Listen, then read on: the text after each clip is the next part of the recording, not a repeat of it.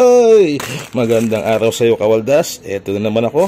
Mag-unbox na naman tayo ng isa pang binili ko sa Lazada. At ah, ito, medyo mura lang din to. Ayan, 289.50. Oh, yan lang naman ang afford natin bilhin paminsan-minsan sa Lazada. Ano, mga ganyan-ganyan presyo lang. Buksan na natin kaagad. At uh, gaya ng nakikita mo sa screen, ito ay mga boxer shorts na mumurahin galing sa Lazada. Ano po? So, times 6 na nakalagay, 6 na, piso, na piso. Ay, 6 na piso tuloy. 6 na piraso yan. At sa halagang 289.50 or 290 na natin, ano po? So, pumapatak yan. Magkano po pumapatak ang isa nito? So, kulang-kulang 50 pesos ang isa. Buksan na kagad natin, ano? At, uh, inspect natin yung quality. Hoy, may libre pala, pala siyang ano, blackhead uh, X4 strip. ano kaya yun? Okay, pang blackheads daw sa mukha. Tingnan natin ngayon yung shorts. Unang-una, bilangin natin kung anim ba talaga siya. No. So, ito na yung isa. Yan. Dalawa. Tatlo. Apat. Lima. Anim. Okay, tama naman ang bilang. At ang tatak po nito ay Do Re Mi. Ayan o. Do Re Mi. So, ito yung uh, isang magandang klase, yung walang bukasan sa harapan. Pag may bukasan sa kasi sa harapan eh, baka lumabas si Manoy. At ang size nito ay 4XL. 4XL. Ayan. Oh. oh, tama nga, 4XL. So, ito, hindi naman first time kong bumili. So, pang ilang beses ko na rin bumili to at tested ko na itong mga ganitong uh, boxer shorts na nabibili sa Lazada na Doremi ang uh, tatak umaabot din ng halos isang taon ang uh, isang piraso. Ano, so mura na siya. At presko din siyang isuot. Uh, kasi nga, eh, short siya eh. Hindi siya brief, hindi nasasakal yung singit mo. At si Patutoy, si Manoy, eh, malaya. malaya ba tawag doon? Ano, yung bibitin-bitin lang siya, hindi siya nakakulong, hindi siya nasakal. So, pwede rin itong uh, pang uh, bahay na shorts kung nasa bahay ka rin lang nakita mo medyo mahaba naman siya o hindi naman siya pek-pek shorts na tinatawag eh, di ba? So pwede rin pang bahay ito actually yung misis ko sinusuot din ito yung isang anak ko sinusuot din kasi nga komportable. Pati yung tela niya oh. Uh, manipis ang tela niya na absorbent naman siya. Okay nag-absorb din ng pawis. Semi-cotton if I would describe it parang semi-cotton naman siya at uh, magandang klase Meron pa siyang ano, etiketa nga. Oh. So, saan ba yari itong Doremi na to? Made in Philippines naman siya. Oh. Made in Philippines. Okay. So, ito yung ating uh, nabili sa Lazada. Actually, ilang beses na akong bumibili nito. Gusto ko lang i-share sa inyo. Dahil uh, baka naghahanap ka ng boxer shorts. Eh, pagka branded ang binili mo, napakamamahal niyan. Ano? Eh, nakatago naman yan. Hindi naman nakikita ang tatak niyan.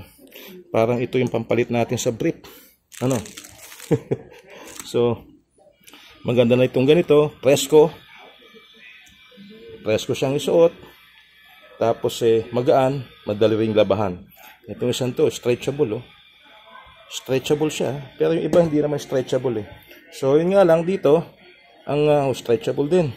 Dito, ang uh, ibibigay sa iyo pag bumili ka ng anim halimbawa ano po isang dosena assorted colors lagi yan. Hindi ka makakapili kung anong kulay ang uh, gusto mo. So ito okay naman siya puro panlalaki ang kulay. Eh, kahit naman bigyan niya ng pambabaeng kulay okay lang. Bibigay ko sa misis ko. At saka ito naman ay naka-specify na men's uh, boxer brief. Yan. Do re mi ang uh, tatak niya. Yan. Do re mi Okay. So, ito yung ating binili ngayon. Medyo kailangan natin ng dagdag. Magpapalit uh, tayo ng uh, bago-bago. So, umorder tayo uli at uh, wala pang 50 pesos. Kasama na ang shipping fee doon sa halagang 289.50. Yung anim na piraso. Uh, kulang-kulang 300. So, kulang-kulang 50 pesos ang isa. Diba? Mura na.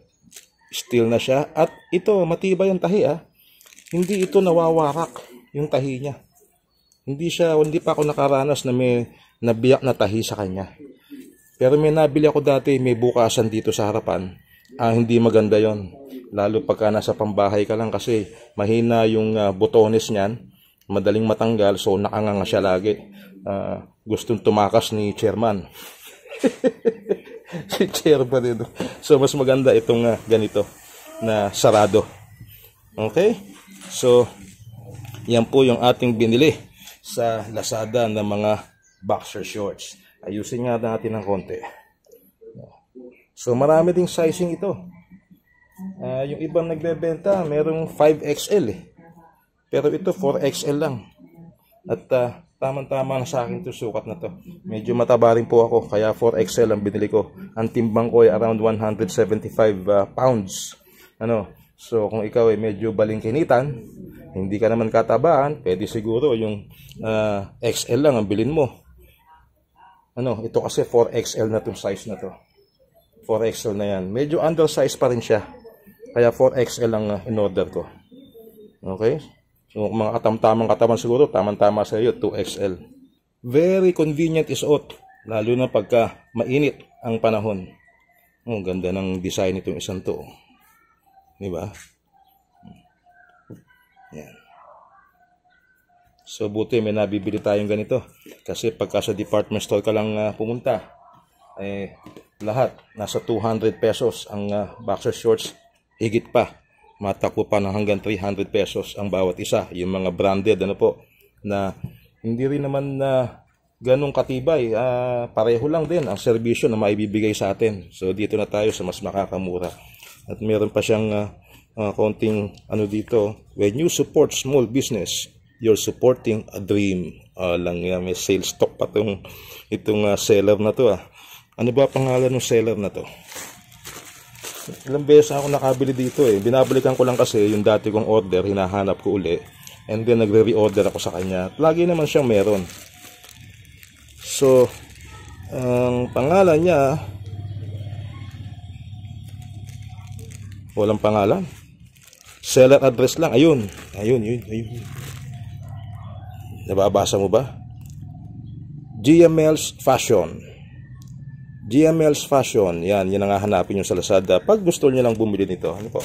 Recommendation ko lang. Ah, wala naman akong kita yan. Hindi ko naman kilala yung, yung seller nito. GML's Fashion. At saka, hindi rin pasok sigurado to sa ano sa affiliate link ng Lazada kasi sa affiliate link ng Lazada eh, puro mahal lang ang ano eh, ang uh, kasama sa commission nila eh. So, Hanggang dito na lamang po. Maraming maraming salamat. Ay, blackhead. Magamit nga din to. Tingnan natin. Ayan, oh. yung chick na kasulat.